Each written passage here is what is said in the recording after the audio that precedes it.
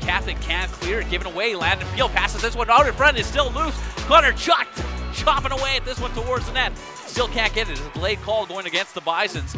Tyler King towards the net. Out in front. Dubrow takes a couple whacks at it. Lamb keeps it away. Touched up by the Bisons. what a save by Lamb on that second chance there. That was just by the toe as you can see his team going to congratulate him. Spectacular save as Dupro, you're right, looking for that tying goal.